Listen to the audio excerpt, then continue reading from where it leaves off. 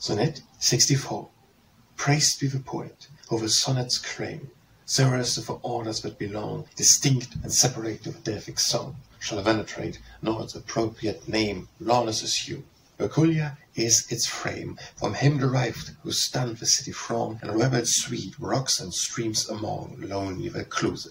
And that he of fame, a greater Milton, Heave by many a lay formed on the order's model, Fully shown that English verse may happily display Those strict energic measures which alone deserve The name of sonnet, and convey A grander grace and spirit all thereout.